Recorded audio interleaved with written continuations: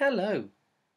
I hope you're having a great day, and I hope I'm about to make it that little bit better. Did you know that the act of snapping your fingers is called fillip? F I L L I P. I just did a fillip.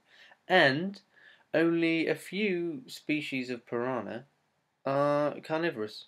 Most just feed on plant matter and insects. And I thought if you ate insects that made you carnivorous.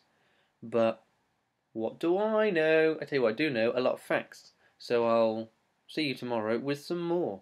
Have a great day.